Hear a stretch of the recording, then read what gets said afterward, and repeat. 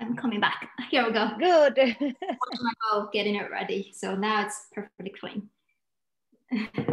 so literally, clean. I just ran through the pre-clean program while um, while Lola was doing her recipe, and it was so quick. And so now I'm gonna start. So now what we're gonna do is the apple and sage stuffing. And here we go. And this is my little Rudolph. So we're gonna go back to recently cooked. And then we're gonna go the stuffing. So I think a lot of people when they wait when they think about Christmas, they always think, oh, I cannot have I cannot not have meat. So they always think, oh, you have to have turkey, you have to have some sort of sort of main dish.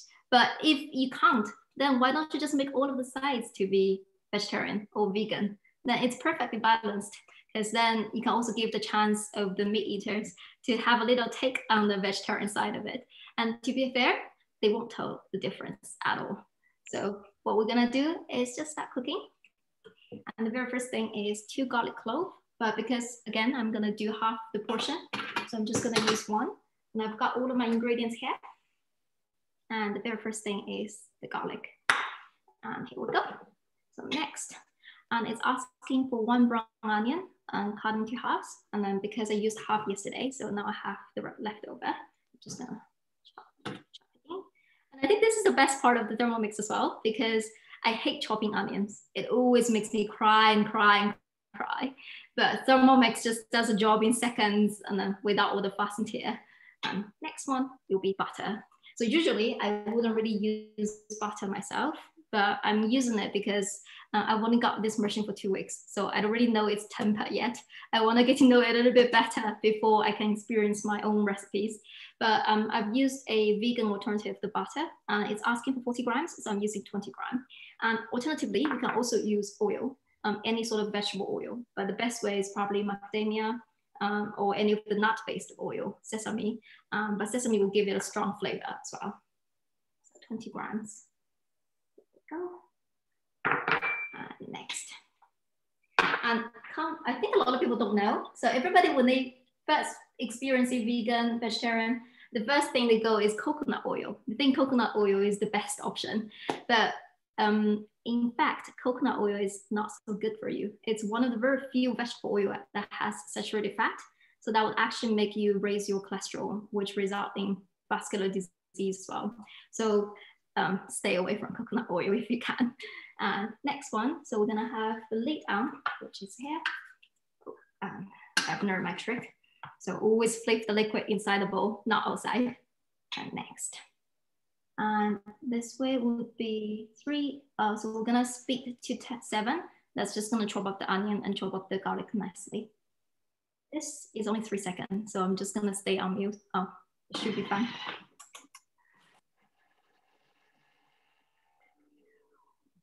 Uh, next, uh, next. So it's asking us to scrape. Uh, here we go. That's the chopped up the butter and onion. Um, Let me just rinse it quickly.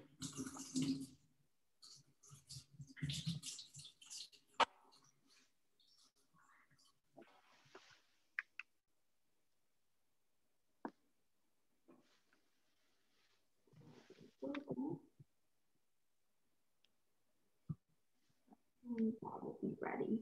So to be honest, I think Thermomix is um, the the procedure is exactly like me cooking. So you always have to chop up, and then it's always next step is sauteing. So we are gonna saute the, the onion. Uh, we're gonna insert this as well. Um, don't forget to scrape down the lid as well, because you're just gonna have this bits of butter and bits of um, the onions left on it as well. And make sure you do not tap on your Thermomix because you may damage your little precious scale. Here we go. Next. So now we're gonna go to speed one for two minutes and that's just gonna saute the onion nicely. So this, um, I think the next one is gonna ask for the bread. And I will talk about the bread in a little bit. Can you hear me over the noise? Yes, yes, you, we can hear you. So the recipe actually asks for stale bread. And usually if you, what I did is I got just a loaf of a normal bread, which is a wholemeal. Uh, but because the conditioner they use in baking now, it's actually quite difficult to bread to go stale. So if you want to do, you have to, it's asking for one day old, but one day old is still gonna be quite soft. So the best way, and it's a little trick, what you can do, is just pop in the toaster for like couple, couple minutes and you just go stale straight away. But if you do have the time, you can actually pop them in the oven as well and then just bake them for about 10 minutes and they will also go stale quite quickly. Yeah. And then I've also got my sage here and my little apple. So with regarding the apple or any fruits or veg, um, usually the nutrients is always inside the skin. So do not throw away the skin for sure. The skin is where all of the antioxidant is. Um, but what you worry about is normally the it's always pesticides residue, and that's what you worry about. So um, the, there's a little trick. What you do to clean it is to use baking soda. So what I do every single time when I go grocery shopping, when I come back, I'll dump all of my grocery in the sink, and then I'll just use one tablespoon of baking soda uh, to one liter of water and then I'll just let it soak for at least 15 minutes. And then you'll get rid of about 99% of the pesticide. So that way, even if you're not buying organic, you, you, you will be sure that you're not really eating any of the residues. And always leave the skin on because that's where the delicious part is.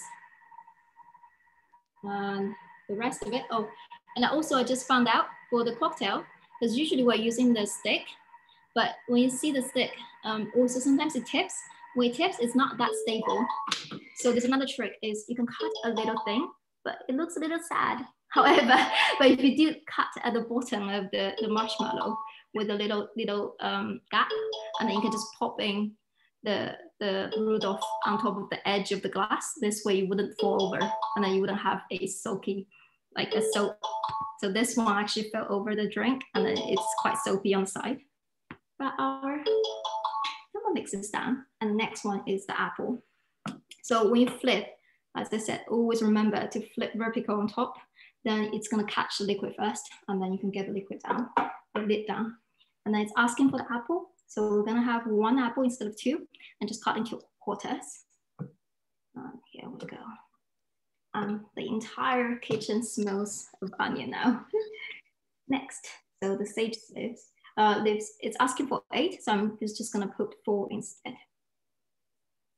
And next is one tablespoon of verjuice, which is just equivalent of the white wine vinegar. Um, I did buy one for the recipe, but I think a better alternative would be the apple cider vinegar, which is kind of like the king. so we're gonna use this one instead. And here we go. And that will just be one tablespoon.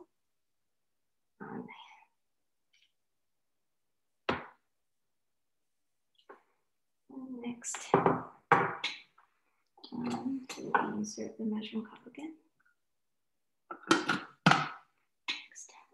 So we'll turn to speed five um, for three seconds. And so that means it's chopping again. So speed five is kind of just chopping.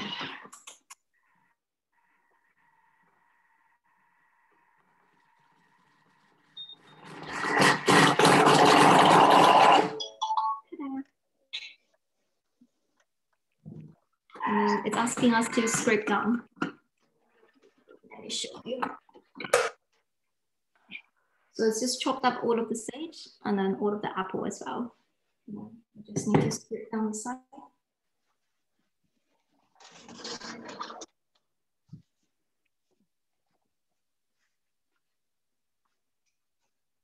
And we're almost there. There we go back. Um, remember to scrape down your lid as well.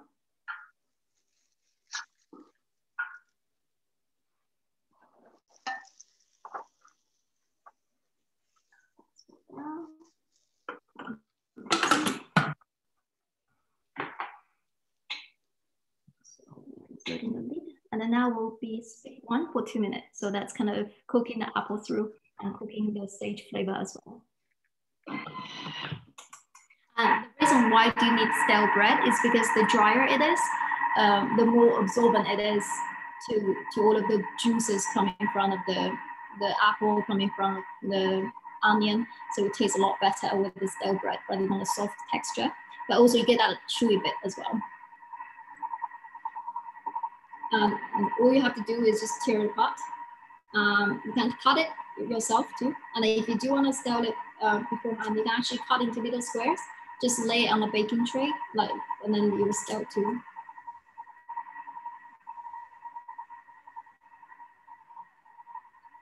It's, I always find it strange when people say stuffing or dressing because they think stuffing needs to be cooked inside something. So they always think stuffing needs to be cooked inside the bud. But for this case, we're actually using the stuffing, um, just cooking it individually. If you do go on uh, YouTube, there's quite a lot of videos on the, the American guidelines. So they actually don't, do not recommend you to cook the stuffing inside the bud just because you may not reach the safe temperature of the cooking. So it is a lot better just to cook it separately. So we're going to prepare this in. We would have hot pot or we will have large gathering meal for Christmas or any important holiday. So we don't really have a typical Christmas menu. And this is kind of like my first time to do the Christmas menu. Oh, a side tip, by the way, I always keep a Tupperware on hand and it can be a worn out one to, to just collect all of the scraps, to collect everything. So you don't have to always go back and forth with the, the trash can.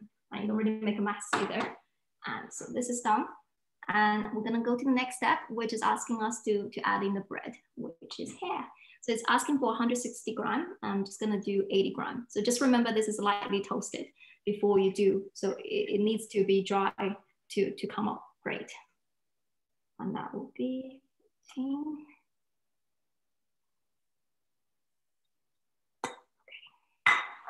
It says it's for two slices, so I just added two slices. Next. We're gonna have two pinches of sea salt to taste, which will be one pinch for me and pepper. Uh, usually when I cook myself, I don't really use salt. Um, we use miso as an alternative, but for miso, you shouldn't really cook it in high temperature. So it's always the last step to add into the recipe. But for this recipe, I'll add in the salt instead. So I'll just add a quarter or an eighth, a quarter, a quarter of a teaspoon. That would be kind of like a pinch. Also add the pepper inside. The next one, black pepper. This one.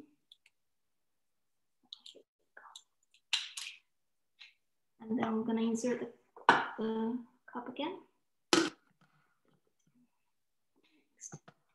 So we'll go to speed seven for 10 seconds. It's just gonna mix all of the the flavoring inside.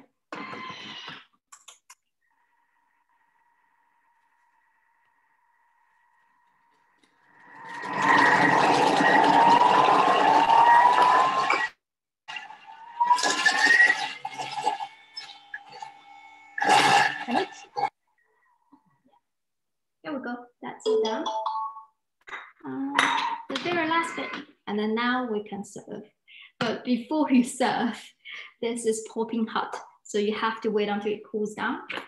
Uh, if you see, this is how it looks like. And we're gonna scrape it down and then we're gonna get it in a bowl and let it cool for a few minutes. Um, I did make a batch yesterday, so I'll show you how you can serve it and then you can shape it as well. And just let it down. So take this in. Um, turkey is more of an American culture. So I went to American high school and every single Thanksgiving or, or uh, Christmas, we would always have turkey as a, a celebrate, celebration meal. And then for UK, I'm not necessarily sure what they eat for Christmas. I guess this could be um, a typical meal as well. That's all done. So now I'm gonna show you. I'm putting it, so usually I won't put it on top of the, the cooking stove. But since I've got the Thermomix, I actually turned off the actually turned off the stove completely. so it's not it's no use for me anymore. So I'm using it more like a free space to prep stuff instead. and this is how the stuffing is going to come out um, because it's still quite hot so it's going to be um, be careful with the temperature usually um, what I read online is the best way is to let it sit in the fridge overnight so you can soak up all of the flavor and then you can shape it second day instead. Um, so what I did yesterday is because I made a different batch and this is a pre-made. So instead, we just shape into little balls. so Look at that. Because uh, this one, you can serve it perfectly as a side dish to any of the mains. Um, um, or if you want, um, I think the texture could be a little bit salty for some people. So if you do like it, you can find a little um, uh, ramekin and then you can put inside the ramekin and just let it bake before you serve. Because if you let it sit in the fridge overnight, and then you need to re, uh, you need to make it hot again, you can just bake for about 10 minutes at about 180 degree. And then you have that crusty top and then it will taste delicious as well. So you can serve it as a little side dish with a little ramekins to the individual guest. But um, if you like stuffing itself, you can you can just serve it as it is, and or beside a whole uh, tray of baked vegetables, roasted vegetables, that would taste great. I think. Here we go. And oh, I... sorry, uh, before we finish, to shape it, just a little tiny tip. Um, because normally we'll just kind of grab the, any amount we have, so you don't necessarily make the balls to be uniform. But if you do want it to be uniform sized, you can just get a teaspoon or a tablespoon and make sure every single scoop is actually within measure. So you can always just have a one teaspoon um, leveled. So we can shape that amount every single time. So the balls would always come out the same size and then you can stack them into any different, um, any shape you like. But that's kind of all for my recipe. And this is my little Rudolph. It's still on the side. but um, Helmut, while